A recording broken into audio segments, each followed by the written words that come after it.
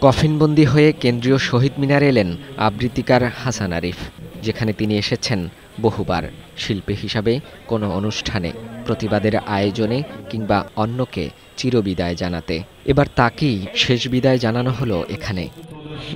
লাল সবুজের পতাকায় মোড়ানো হাসান আরিফের কফিন রাখা হয় শহীদ মিনারে। চোখের জলে স্বজন সহকর্মী শুভাকাঙ্ক্ষী ফুল দিয়ে শেষ বিদায় জানান প্রিয় মানুষটিকে। কেউ গানের মাধ্যমে, কেউ আবার আবৃত্তির মাধ্যমে শ্রদ্ধা ও ভালোবাসা জানান।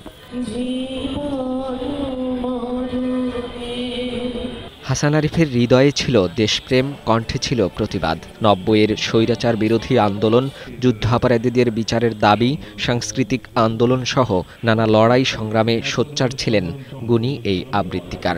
সৃজনে এবং প্রতিবাদে সমানভাবে দক্ষ ছিল। আজকে বুঝতে পারব না প্রত্যেক দিন বুঝব যে আরিফ ভাই নাই আরিফ ভাই নাই। আরিফকে হারিয়ে আমি ঠিক এখনও বুঝতে পারছি না যে কি করা করব আগামী দিনগুলোতে এগোবো কি করে? আমরা অভিভাবক শূন্য হয়ে গেছে এখন।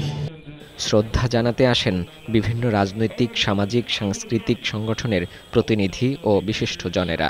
তারা বলেন হাসান আরিফ অসাম্প্রদায়িক ও গণতান্ত্রিক মূল্যবোধকে ধারণ করতেন। তার চলে যাওয়া অপূরণীয় ক্ষতি।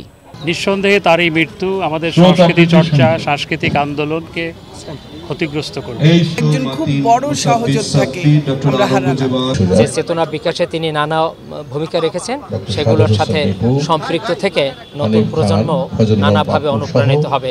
হাসান আরিফের স্বপ্ন বাস্তবায়নে সবাই এগিয়ে আসবে এমন চাওয়া তার ছোট বোনের।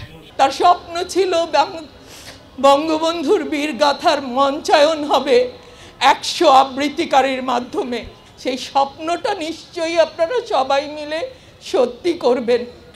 শহীদ মিনারে শ্রদ্ধা নিবেদনের পর লাল সবুজের পতাকায় ঘেরা শোভাযাত্রায় মরদেহ নিয়ে যাওয়া হয় ঢাকা বিশ্ববিদ্যালয়ের মসজিদে। সেখানে অনুষ্ঠিত হয় নামাজে জানাজা।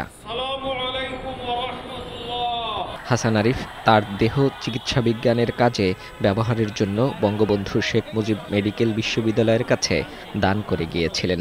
সে অনুযায়ী বিশ্ববিদ্যালয়ের কর্তৃপক্ষের কাছে দেহ হস্তান্তর করা হয়।